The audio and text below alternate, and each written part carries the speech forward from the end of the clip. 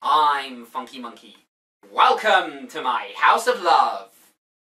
And once again, we return to that turbulent decade, the 1980s. Now, we've all heard of Star Trek, Ghostbusters, and Indiana Jones, but I'd be willing to bet that Buckaroo Banzai is a name that you haven't heard. Permit me then to introduce you to this forgotten cult classic and an American legend that should have been.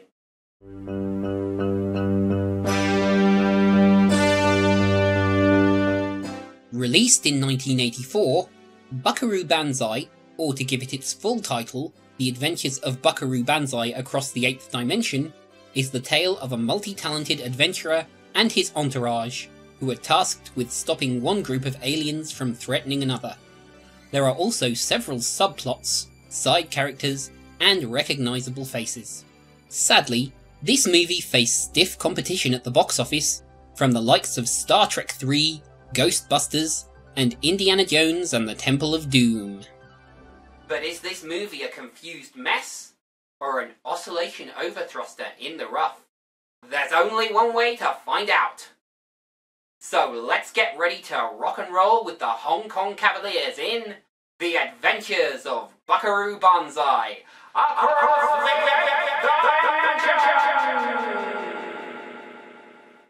I present Dr. Buckaroo Banzai. His first love was brain surgery. Actually, Buckaroo's first love was particle physics. But we'll get into that mess a little later on. Now there's a lot of ground to cover, so I'll be filling you in as we go along. I should mention, firstly, that on Buckaroo's travels, he amassed around him a group of scientists and thinkers who also dabbled in music and became his band. These are his entourage, the Hong Kong Cavaliers. But today he's driving a test vehicle of his own design. Through a mountain? This improbable feat is actually achieved through the modern miracle of the oscillation overthruster. The science of it is a little bit complicated, so We'll leave it for now and get into it later. But he manages to make it out the other side.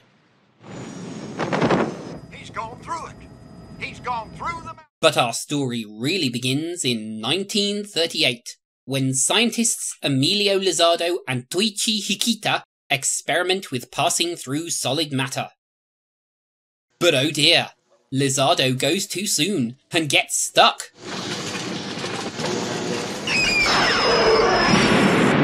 and when they pull him out, he's not himself. And back in the present, he's not been himself since. Well, if Dr. Lizardo isn't himself, then who is he? He is, in fact, Whorfin, Lord of the tyrannical red lectroids, and all around evil the equal of any tyrannical extremist you'd care to mention.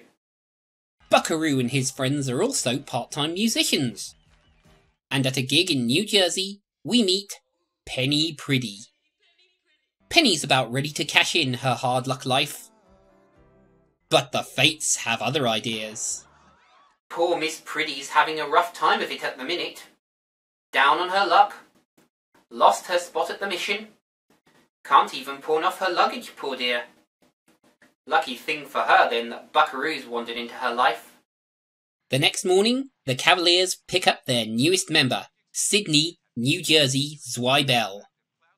And Buckaroo is still trying to solve the riddle that is Penny Priddy.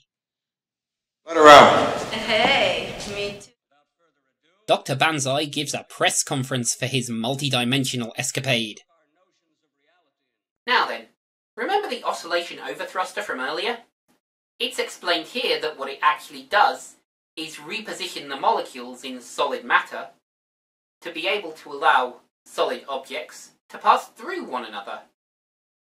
It's your basic vibrational planes of reality kind of thing, but with some pseudoscience guff about the eighth dimension laid on top. But a telephone interruption, supposedly from the US president himself, reveals. Evil! Pure and from the eighth dimension! Bam the Lectroids flee, but our hero pursues. And somewhere in the mountains, an opposing group of Lectroids send their emissary. So, yeah, there are apparently two sets of Lectroids. Or at least two. If there are any more types of Lectroids, they're not shown in this movie. All we see are the red Lectroids and the black Lectroids. The red Lectroids being led by the tyrannical Whorfin, and the black Lectroids being led by the seemingly benevolent Endor. And Buckaroo rescues Professor Hikita.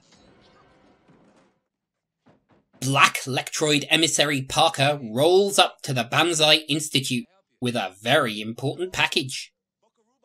But as dawn approaches, the red Lectroids attempt to recover the oscillation overthruster. Who's the wise guy? And when Buckaroo returns, Parker's package turns out to contain a dire warning from Black Lectroid Commander Emdall. You see, Whorfin was a tyrant. You know, a real nasty piece of work. So, the Black Lectroids rebelled, overthrew him, and exiled him to the Eighth Dimension, presumably for crimes against Lectroidity. But with this successful test of the oscillation overthruster, Whorfin sees a way to return to the Eighth Dimension, collect his forces, and retake Planet 10. And there's still the little matter of Penny Priddy to work out yet.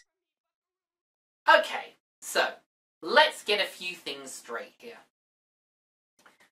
You see, Penny is the long lost twin sister of Buckaroo's first wife, Peggy. Peggy was murdered by the vile criminal Hanoi Xan.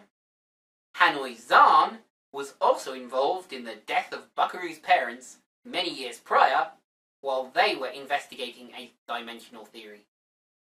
All of this may or may not have been mentioned and even resolved in Buckaroo Banzai against the World Crime League. Had it ever actually been made, which it wasn't. But anyway, I thought it was important to explain all this. And now, the next scene. But then, the red Lectroids attack. In a pinch, Professor Hikita gives the overthruster to Penny for safekeeping. Which goes about as well as you'd expect when she's kidnapped. Whorfin taunts our hero, believing his victory already assured. Yeah, I'm guessing that's going to go about as well as you'd expect. Remember, folks, don't count your Lectroids before they're hatched. And so the stage is set for our finale, as Buckaroo enters the Red Lectroid front company, Yoyodyne, where he's immediately taken hostage. But all is not lost, as the Hong Kong Cavaliers follow. And while they inadvertently cause a diversion, Buckaroo heads off to rescue Penny. But Penny's fate will have to wait, as the Red Lectroids prepare to board their ship. Luckily for humanity, Whorfin's overthruster fails. And somewhere over New Jersey, Parker and Banzai put an end to the Red Lectroid menace. And so our movie ends with a shocking defibrillation, which revives Penny just in time for a final embrace.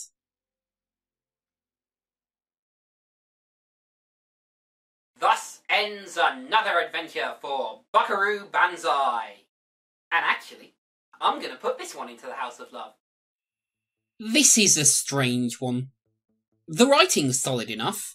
The premise of a genius polymath adventurer who dabbles in music puts me in mind of pulp hero Doc Savage Man of Bronze, only somewhat more cerebral. As a comedy, the only comic performance I could point out was that of Christopher Lloyd's Big Booty, whose insubordinate whining was very much at odds with the serious tone of the rest of the movie. The performances are solid enough too. Peter Weller's central character, Buckaroo Banzai, is an unflappable fellow, mostly sensible, and a deadpan snarker. The somewhat ensemble cast of mostly unknowns do seem to have genuine chemistry, as the Hong Kong Cavaliers make for a believable group of modern day gentlemen adventurers. And while Ellen Barkin's Penny Priddy is underutilized, and mostly oscillates between miserable and offended, I could still see potential for what she could have been, if the promised sequel had been made. The flow of this movie is straightforward enough as well. MacGuffin is coveted, stolen, and recovered, while the good guys solve the mystery and beat the bad guys, with a side plot of a long lost twin sister to Buckaroo's lost love. And it all washes over me well enough. But it feels like the movie from a long running TV series, or a second or third sequel that we came in late to. And that's the main problem, is that co-creator Earl Mac Rauch half wrote several unfinished scripts for this character, and created a whole history and backstory which we just don't see here. So necessarily, a lot of this premise needs to be set up, and the movie tells a lot instead of showing. But for what we do have, it's very enjoyable, even if it is faintly ridiculous. It's played dead straight for the most part, and all the better for it. In some respects, it might even be ahead of its time. Overall, then, it may be just a fragment of a larger world, but from this one adventure alone, I can heartily recommend the adventures of Buckaroo Banzai across the eighth dimension, and perhaps one day we will get to see him battle the World Crime League. I've been Funky Monkey, wishing you good days and great entertainment. And remember, no matter where you go, there you are. So long, folks.